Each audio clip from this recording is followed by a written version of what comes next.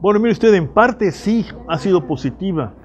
No, no presenté eh, todas las eh, gráficas que, que traía, pero ahí podrá ver usted que nos volvimos un, gran, un país gran exportador de bienes manufacturados, automotriz, automóviles, autopartes, eh, artículos electrónicos vinculados a la computación, aparte de otras cosas más, y dejamos de ser lo que estábamos en peligro de ser, que era un país monoexportador de petróleo.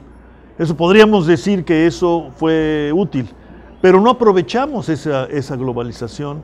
Y entonces el gran desafío ahora es hacer lo que usted, eh, convertir en realidad lo que usted pregunta, aprovechar la globalización en nuestro beneficio. Yo le hablo en algún momento también a guisa de provocación de nacionalizar la globalización. Eso es lo que tenemos que hacer.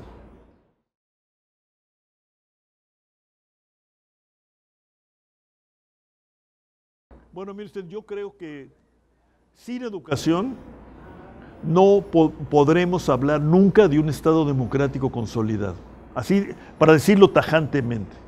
Y por otro lado, pienso que la educación bien organizada y dirigida puede ser uno de los grandes vectores para nacionalizar la globalización por la vía de desarrollar nuestras destrezas y capacidades tecnológicas de innovación y sobre todo de adaptación del conocimiento mundial y no de adopción a crítica, sino de adaptación de lo que se produce en el mundo en nuestro beneficio. Ahí la educación es indispensable.